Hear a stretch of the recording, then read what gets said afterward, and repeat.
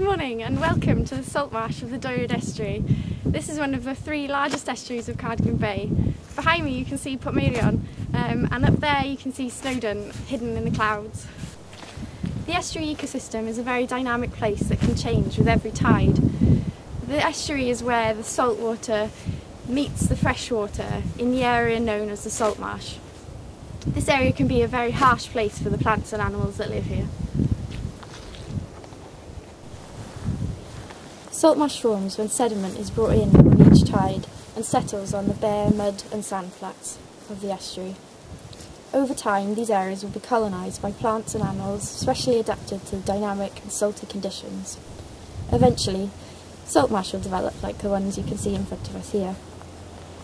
You'll be able to see different communities of plants on the lower and higher shore. A healthy estuary ecosystem will have sand and mudflats, salt marsh, and transitions to woodland and grassland. The management of the estuary is also very important to the services that the ecosystem can give us. One of the great things it can give us is salt marsh lamb, where the sheep feed on the special grasses only found here. Another great thing is that the salt marsh locks away huge amounts of carbon. The salt marsh also acts as a natural coastal defence, protecting us from storms and erosion. The salt marsh is a wonderful natural filter, purifying our water. And another thing, the salt marsh is a wonderful place to come and experience nature and wildlife for yourself. You might be able to find otter tracks in the mud and see birds feeding in the sands. And at certain times of year, the marsh will turn pink with the colour of thrift. And finally, this is a fantastically beautiful landscape to come and enjoy yourself with a short walk or maybe even a long walk, somewhere to unwind and relax.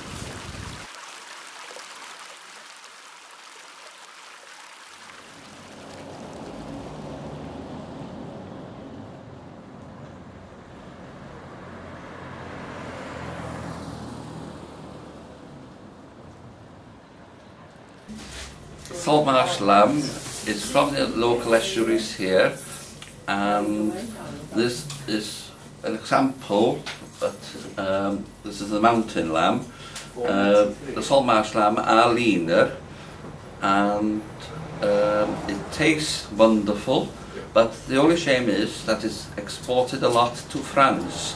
And why can't we keep it here in Wales for ourselves the only problem the farmers have to worry about is when the waters come up, you have to make sure that the lambs are moved up to higher ground.